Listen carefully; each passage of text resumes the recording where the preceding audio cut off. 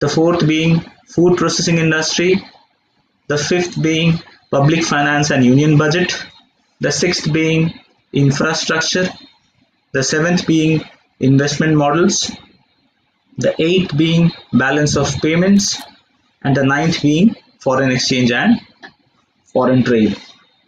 So these nine chapters are very important for the main examination. Now for this year's main, uh, I can uh, suggest some topics which may be important. Like from agriculture, we see that a question from topic known as cropping pattern is very frequent. So my humble request, please read this particular topic on cropping pattern very thoroughly. Uh, food security, crop insurance, fertilizers. In the year 2019, there was a seeds bill. So uh, question can be there from seeds bill. It is an amendment or it replace it may replace uh, the existing Seeds Act 1966. Uh, there can be a question on Consumer Protection Act because there is a new act uh, replacing the old one that is Consumer uh, Protection Act 2019. So you can very much expect a question from this particular topic. Uh, a question from maybe there from contract farming. Contract farming is again very important. Then uh, while in the decent economic survey, there was a very interesting and important topic given on mechanization of agriculture. So friends, this particular mechanization of agriculture can be a direct question in your main examination and along with that uh, a topic on animal rearing so i must uh, repeat from agriculture cropping pattern food security crop insurance fertilizers seeds bill 2019 consumer protection act 2019 contract farming mechanization of agriculture and animal rearing so i i think that these topics may be important for the upcoming year's examinations.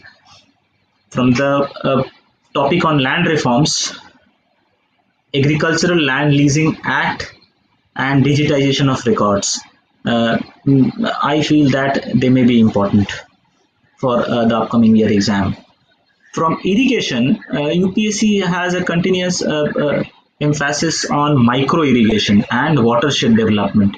So micro irrigation and watershed development becomes very important. Please read it very thoroughly. There is also a, a scheme, Pradhan Mantri Krishi Sinchai Yojana. Uh, there can be a question in prelims as well as main examination from this particular. And there is also a scheme called Neeranchal National Watershed Project. So uh, this again uh, can be important for your main examination. So for irrigation, I must repeat micro irrigation, watershed development, Pradhan Mantri Krishi Sinchai Yojana, Neeranchal National Watershed Project. This can be a important area to be revised very thoroughly. From food processing industry, uh, there is an important scheme, Pradhan Mantri Kisan Sampada Yojana. A very important scheme. Friends, please read it very thoroughly. Along with that, mega food parks are always important because every now and then you see a new mega food park being launched recently one being launched at Mizoram so friends very important along with that I must say in public finance and union budget a topic on fiscal consolidation 15th finance commission recommendations uh, a question on disinvestment or deficit financing or maybe GST can be there in the paper. So uh, again uh, you have to dwell upon these particular topics very thoroughly. Uh, from the infrastructure as I've already said energy sector and urban infrastructure is very important. And there are some new policies and new acts which have come. So uh, you have to take them into consideration while uh, uh reading this chapter. From investment models UPSC has a special focus on PPP projects so PPP projects uh, has have to be revised very thoroughly from balance of payments foreign direct investment has been given a special emphasis by UPSC. And in foreign exchange and foreign trade, I can uh, hope a question on interna- internationalization of rupee or convert full convertibility of rupee or uh, the reserve adequacy or maybe a question on foreign trade policy. So friends, uh, uh the priority chapters for mains, as I have repeated, uh, I, I must repeat once more agriculture, as you can also see on the screen, agriculture, land reforms, irrigation, food processing industry, public finance and union budget, infrastructure, investment models, balance of payments, and foreign exchange and foreign trade. So these are the priority areas for main examination. So uh, with prelims, I hope everyone has uh, noted down or has in mind that for prelims around eight chapters are important.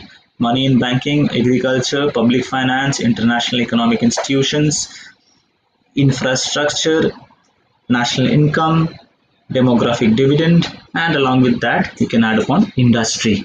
So these eight topics. And mains i've already told you agriculture, land reforms, irrigation, food processing industry, public finance, infrastructure, investment models, balance of payments, and foreign exchange and foreign trade. So uh, this can be a strategy or this you, you can strategize in this manner. We can focus more on these particular chapters for prelims and main examinations. But I must uh, request you that uh, reading all the chapters at least twice becomes very important because in economy the concepts, the current affairs are so much interlinked that if you are not able to connect them properly, it's very difficult to solve answers. So this can be a strategy for prelims and main examinations. Now, with regard to uh, uh, what you can add on, uh, like many students, many aspirants ask me that uh, what particular book to read or what particular book to refer with regard to uh, covering the syllabus on Indian economy uh, Uh, I must say that there is no single book or single source which is sufficient to clear this examination. There are a large number of books which are available in the market, including NCERTs. If an aspirant has time, he must, he or she must start with reading NCERT. Reading NCERT will actually help him or her to develop interest in this particular subject on economy after reading NCERT, what one can do, one can see the previous year questions of the UPSC civil services examination or any other examination uh, he or she is preparing for.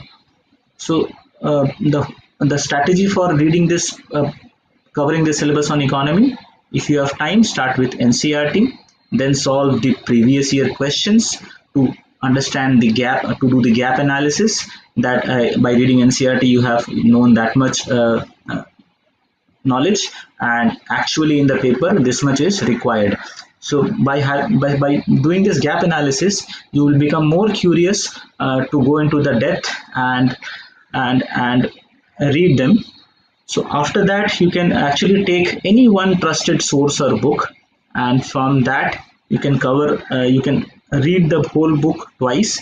After reading the book twice you will get to you will get to feel that all the topics are not covered in that particular book. I'm sure in any book uh, covering all the topic becomes very difficult uh, seeing uh, the, the, the the trend or the mammoth of syllabus there in our examination. So any one trusted source you pick up you read it very thoroughly. After that what you do you actually uh, uh, see the index or the table of content of the other books which are there in the market. You don't read the book, you read just one source, but you must see the table of contents or the index of other books and try to note down the topics which are missing or not there in your book which you have read. So you will and try to make a, a note on the the topics which need to be covered for a particular chapter. Say for agriculture in your particular book you have around 25 topics which have already been covered. But from uh, from uh, the previous year's questions or from the mock questions you get to know that uh, these these topics are not there in my book. So definitely you might be getting those uh, topics in another book or you can take uh, the help of internet you can uh, find those topics in various uh, trusted sources like uh, Arthapedia or Vikaspedia or Wikipedia or Investopedia. So these sources you can uh, actually collect informations and make small notes within your book or maybe uh, in a, in, a, copy along with that. So that additional topics you should not be reading from any other book. just stick to one book and for additional topics you make your own notes from the internet or from uh, in, i think internet will be more uh, user friendly for you rather than uh, dwelling upon any other book and again reading from there. So uh, let us revise the strategy for the whole economy. First read ncert if you have time. Then try to see the previous year questions. After the previous year questions pick up any uh, trusted uh, source or book. Read it very properly. After that try to solve uh, try to uh, make an index of topics and and and make notes on those topics from google or and uh, sources like wikipedia investopedia arthapedia or vikaspedia along with that i must say that questions are uh, a, a, number of questions are current affairs based. Like in a particular question, the concepts and current affairs are correlated. So for and I have seen that even before, even 15 days before the exam, uh, the current affairs have been covered and are very much there on the paper. So uh, to uh, to actually manage that challenge, what you can do, you can actually refer to sources and update your book with the current affairs. What might be the sources? The sources may be uh, very trusted sources like PIB or uh, the RBI website for the chapter on money and banking like recently we have seen uh, RBI came up with a report on uh, there was a fiscal uh, financial stability report and a monetary policy report. So these reports becomes very important to be covered for the exam.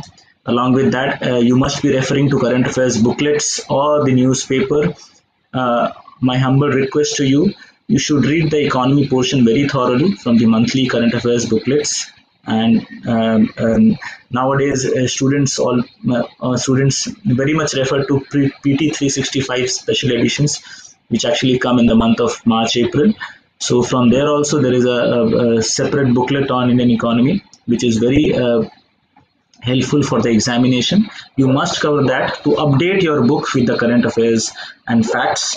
Along with that, in the month of February, we see economic survey being published by the government of India. I have seen uh, uh, aspirants reading an abridged version of Indian economy, but this is my humble request that instead of reading an abridged version, at least reading economic survey once is very helpful both for prelims as well as main examination. So you should give uh, the full reading of economic survey at least one. It doesn't take time if you have already understood the concepts on Indian economy and you have read a standard book before starting Indian economy uh, economic survey. So uh, please economic survey uh, read it at least once and there is a supplementary uh, there is a statistics supplementary given by uh, published by government of India along with the two volumes of economic survey. That statistics supplementary I have seen that the questions are very frequent uh, from the analysis of that statistics supplementary. And I've also tried to incorporate those important areas in my book. Becomes equally important for exam friends. So after doing all this just before uh, uh, just two months before the examination practicing mock questions on current affairs becomes very important. You must practice current affairs based mock questions on economy so that uh, if a question is there in the exam you can manage. Along with that from those questions you will get to know many new topics which are already there and you have not read or which might not be there in your book or uh, uh, from the notes you have made. So you can also prepare on those particular topics. So my uh, strategy would be not to sticking to one particular book but rather than that uh, uh, reading from one book but making an index of topics and covering those topics very properly reading a Niti Aayog report becomes very uh, relevant for the main examination. It helps to write very good answers like uh, reports on uh, sustainable development goals by Niti Aayog and uh, reports on various uh, socio-economic indicators like health, education. They actually help you to write good answers in the main examination. So if you have time, uh, my humble request will be read at least once uh, those uh, reports by Niti Aayog, uh, which might look relevant to you, and the current year's budget. So these all these sources I think you can add upon to your one particular trusted source or book to make to have a comprehensive preparation for the Indian economy. So friends, we have discussed till now the approach for prelims examination, the approach for the main examination, how to cover uh, Indian economy in both prelims and main examinations, and what kind of source you should use. Uh, so this is the main area uh, which you can uh, ponder upon uh, to have a good preparation on Indian economy.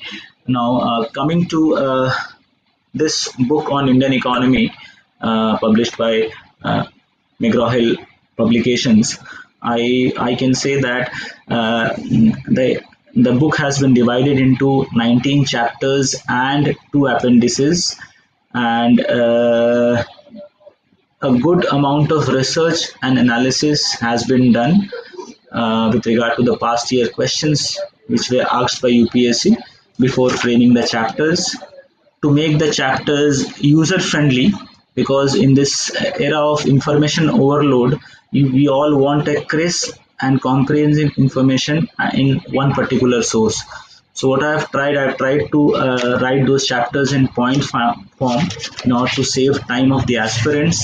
The keywords have been highlighted so that uh, even in the main examination, if a question is asked, like a question is asked of a 10 marker or a 15 marker question is asked in the main examination. So uh, just by uh, taking, taking into account 10 to 15 keywords, they can easily write or manage an answer in the main examination. So I've tried uh, to uh, actually highlight those keywords which might be very relevant for the examination. I've tried to give um, information more through tables, flowcharts and boxes so that uh, students are uh, uh, the, the, students are students actually enjoy reading the book and they don't uh, get monotonous while reading the book. Analysis of economic survey has been uh, merged or incorporated within those relevant topics so that unnecessarily they don't have to again uh, look upon economic survey and link those uh, particular areas. It becomes really difficult uh, so i have tried to actually incorporate whatever is important uh, there in economic survey. I have included in that particular topic in uh, the book only. With regard as we know the the Indian economy is very dynamic with regard to uh, UPSC. Very a uh, lot of questions are asked based on current affairs, and and and because the whole world the whole world is uh, facing through this COVID-19 pandemic, uh, so we might expect even questions from uh, the measures, the economic measures which have been taken by the uh, government. huge number of measures have been taken so uh, we might expect a question on um, uh, the measures uh, to tackle this COVID-19 pandemic.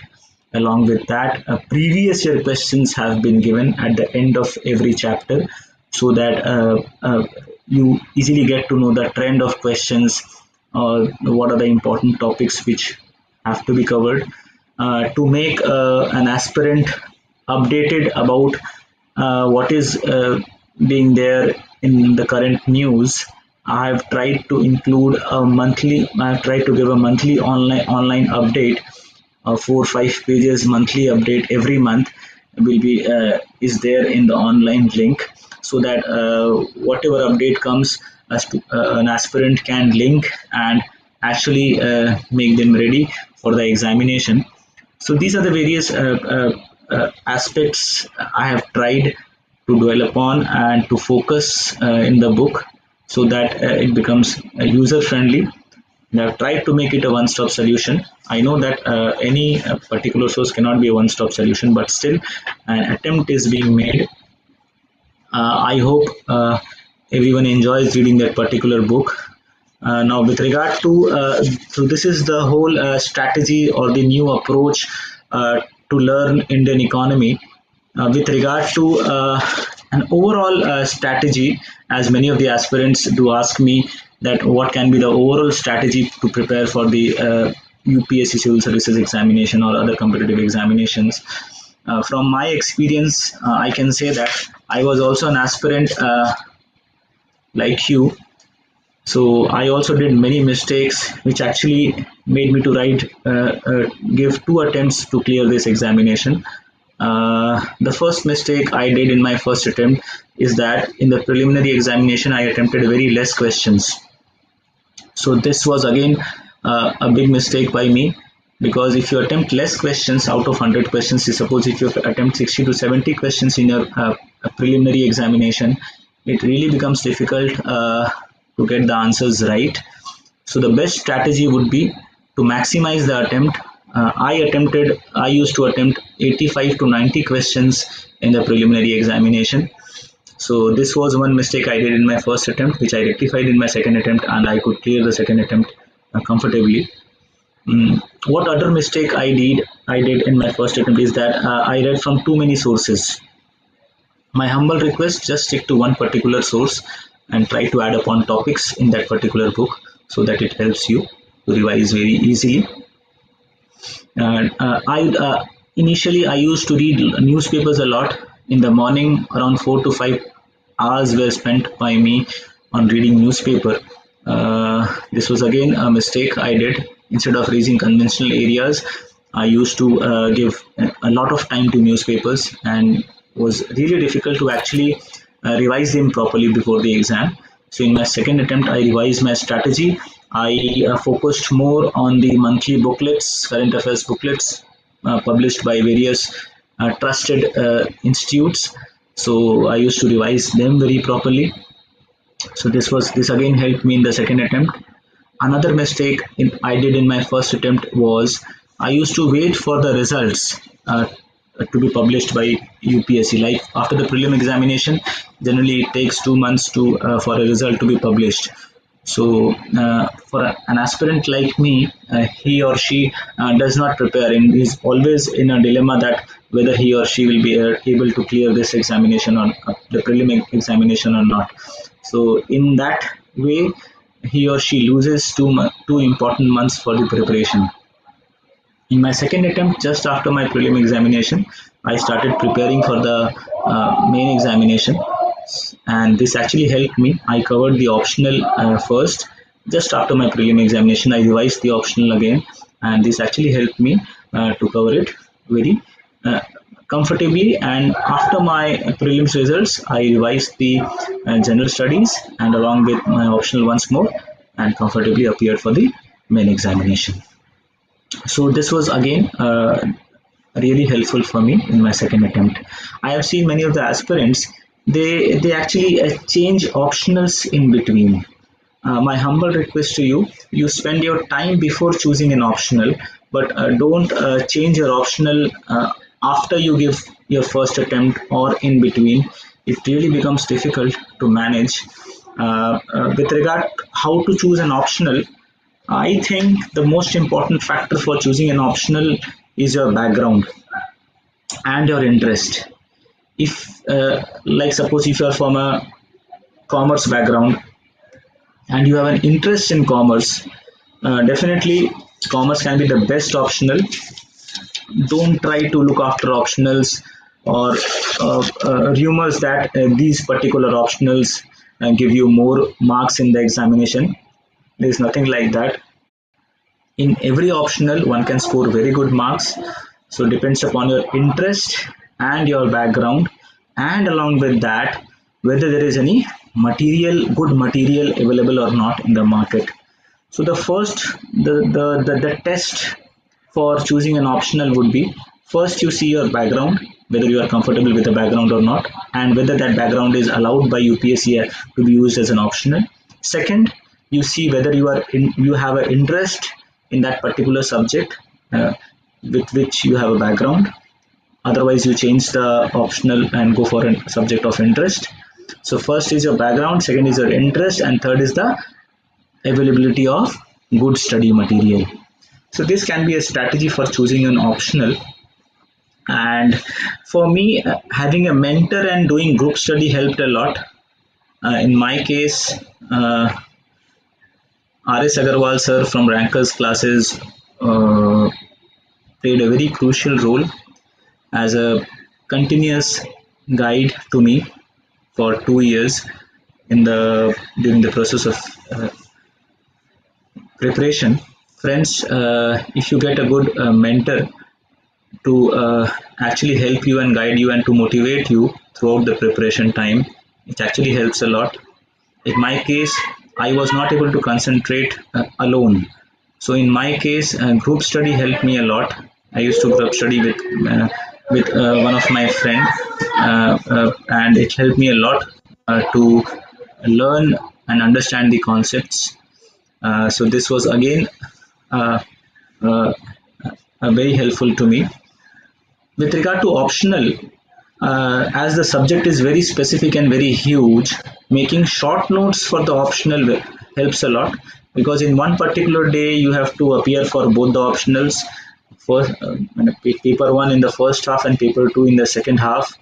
So uh, it is always better that you make a short notes of around 50 pages for optional one and 50 pages for paper two paper one and paper two of the optional 50 50 pages. So that uh, uh, at the time just before the exam you can easily revise them very uh, quickly in one day. So uh, it will actually help you to revise uh, twice thrice or even four five times before the examination very quickly so that in your optional you can score very well and have a very good uh, overall rank in the upsc so this is again this was very helpful for me that i used to make uh, short notes on i did not make any short notes for gs but for optional i made and that this strategy actually helped me a lot. Finally i must uh, request everyone to have a trust and confidence on you. This exam is all about trust and confidence and uh, you must have a trust firstly on yourself on your mentor on if you have joined any coaching institute on the coaching institute. The books you are reading you should have a trust on that particular book and you should not keep on changing the sources. You you might spend you you you, you may spend time uh, at first to choose a book but and don't uh, keep on changing the books. It becomes really difficult to actually manage them. And at last you know uh, keep a faith on almighty. Uh, he's always he or she, he's always there with you and and, and you will definitely clear. I know this uh, people say that this exam has a lot of luck but the harder you work the luckier you are. And this can be the mantra for a upsc examination. Uh, always have a plan b in your mind. Uh, if you are not able to clear this examination there has to be a plan b for your career. Uh, becomes very relevant and very important. So i think these are the important points which can be uh, looked into and taken into consideration as a, a, a as a overall strategy for the UPSC examination. And uh, I've already shared uh, the strategy for the uh, economics uh, Indian economy uh, topic or for preliminary and main examination. Friends uh, thank you so much. It was i feel privileged to share whatever little experience i have with regard to civil services preparation and i uh, pray to almighty and i wish that you are all able to clear this examination with flying colors. Thank you so much